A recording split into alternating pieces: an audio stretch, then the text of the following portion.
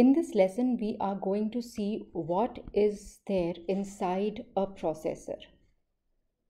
So the main units that are present inside the processor are the arithmetic and logic unit, the register file and the control unit. These are the main units apart from other things.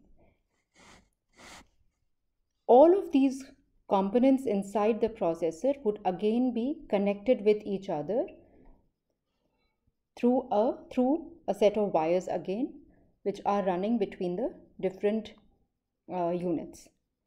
So this register file is a set of registers. So suppose if there are 15 registers or oh sorry 16 registers so they will be from 0 r0 they could be named like this r0 to r15 so these are a set of 16 registers and they are collectively known as a register file. Okay. These provide the local storage inside the processor. They are high speed elements. They provide the local storage for the operands to be stored for the data to be stored for any temporary result to be stored. From here the data can be taken to the arithmetic and logic unit the operation can be performed on them and then the result can be stored back into the register file. And all the operations of the processor as well as the other units in the uh, computer system are controlled by the control unit. So what does the arithmetic and logic unit do? So most of the computer operations are executed in the arithmetic and logic unit.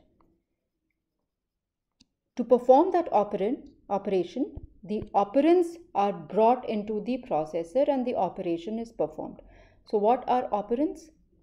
By operands we mean the, the data on which that particular operation has to be performed. So these operands, they will be either in the memory from where they will be brought into the processor or they could be alternatively available in the registers. So they will be taken to the ALU and the operation will be performed.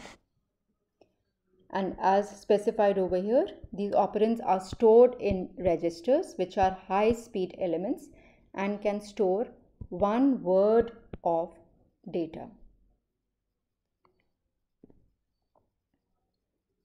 What does a control unit do?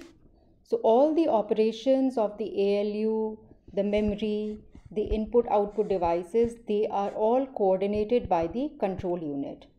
So if there are any input output transfers taking place between the input output devices and the processor or data transfers between the processor and the memory, so timing signals will be generated by the control unit to manage this. So there are a large set of control lines which are also collectively known as the control bus which will carry the signal for the timing and synchronization between the components.